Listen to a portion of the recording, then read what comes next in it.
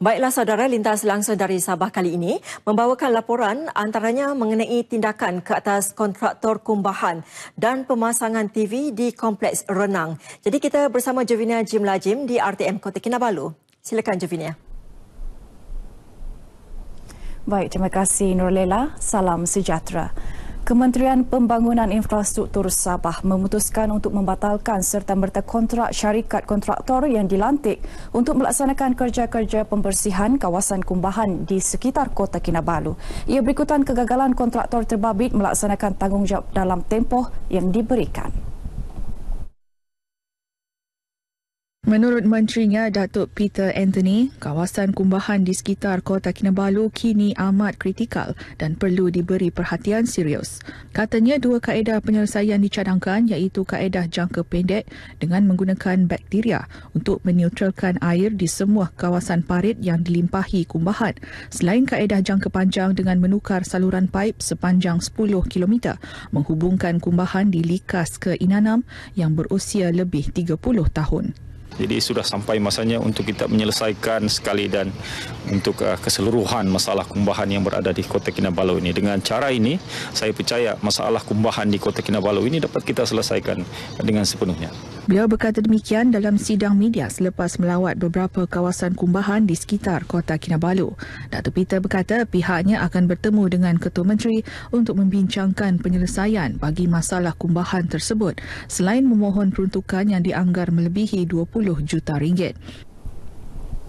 Susulan insiden pelajar lelaki lemas dalam sesi pembelajaran renang di Kompleks Renang Kompleks Sukan Kota Kinabalu Likas Rabu lalu. Kementerian Belia dan Sukan Sabah akan memasang kamera litar tertutup CCTV sebanyak mungkin di kawasan tertentu di kompleks tersebut. Menteri Belia dan Sukan Sabah Datuk Frankie Pun Ming Fung berkata langkah itu untuk mengelak insiden lemas tersebut berulang. Diminta mengulas lanjut insiden tersebut, katanya kes tersebut masih dalam siasatan pihak polis.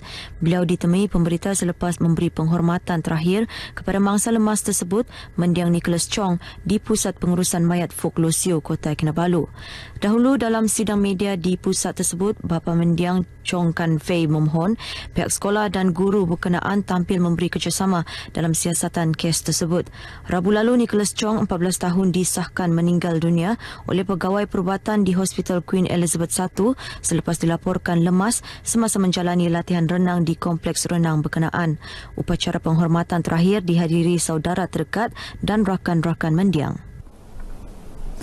Polis Sabah masih menyiasat insiden penculikan di perairan pengasus Reef Kinabatangan membabitkan tiga nelayan termasuk seorang warga tempatan pada 6 Disember tahun lalu. Sehingga kini polis belum menerima sebarang panggilan telefon daripada suspek.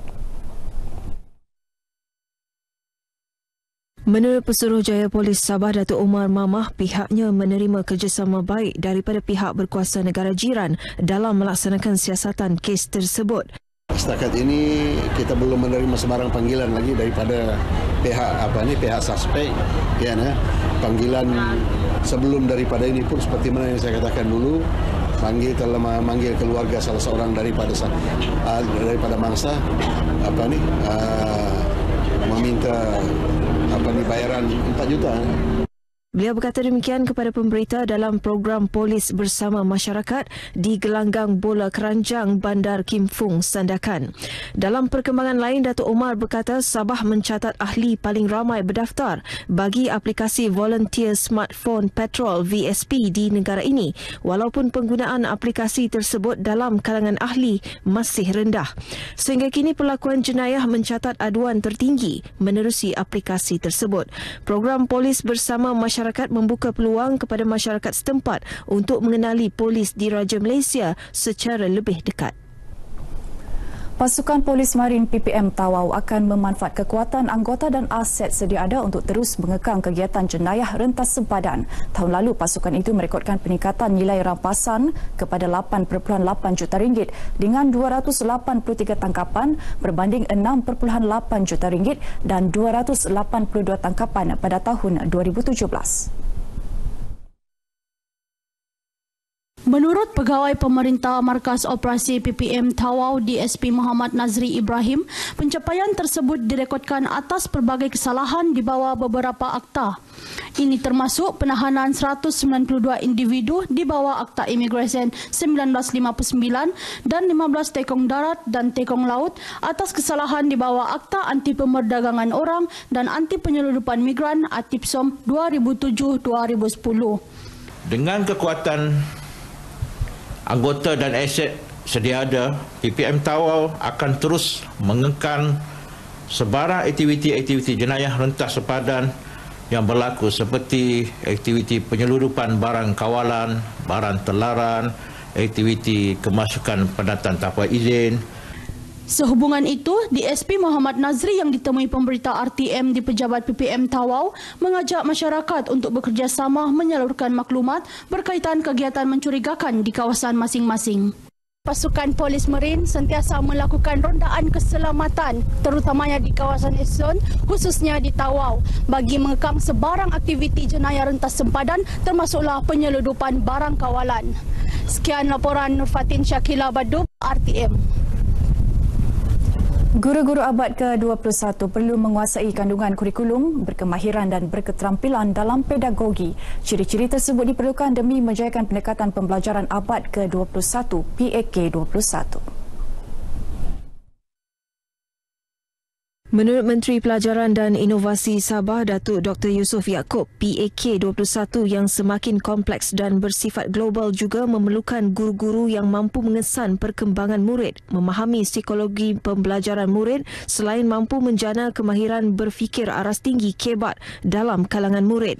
Ini selaras matlamat PAK 21 untuk melahirkan murid seimbang, berdaya tahan, bersemangat ingin tahu, bermaklumat, berkemahiran berfikir, berkomunikasi dan dan bekerja secara berpasukan. Beliau menyatakan demikian dalam ucapan perasmian program Fajar Hots Fiesta di Dewan Raflesia Sekolah Menengah Kebangsaan SMK Taman Fajar Sandakan.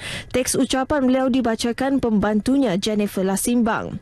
Turut hadir pegawai pendidikan daerah Sandakan Syarif Mahadar Syarif Atar. Terdahulu pengetua SMK Taman Fajar, Hajah Munah Haji Nasri dalam ucapannya berkata, SMK Taman Fajar antara sekolah yang mendapat pengiktirafan cemerlang dalam empat aspek amalan kebat dan seorang gurunya mendapat pengiktirafan guru cemerlang amalan kebat kelima terbaik peringkat kebangsaan.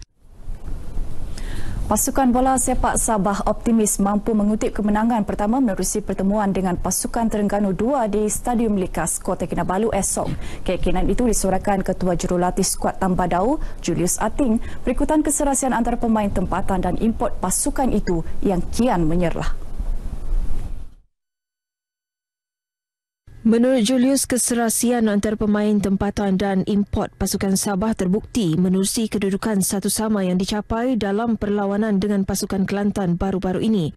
Dalam game yang ketiga ini, uh, kita berharap supaya uh, keserasian dan uh, kombinasi pemain ini semakin baiklah. Jadi kita juga mengharap dengan adanya kesemua pemain import kita dalam perlawanan ketiga ini, kita boleh mendapat keputusan yang baik untuk memenangi perlawanan ini.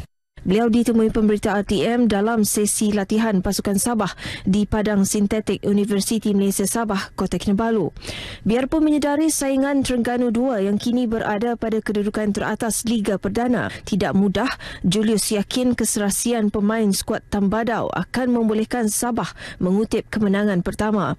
Sabah yang tewas kepada pasukan Johor Darul Takzim jadi T2 sebelum seri dengan pasukan Kelantan kini berada di kedudukan ke-9 dalam Liga Liga Perdana.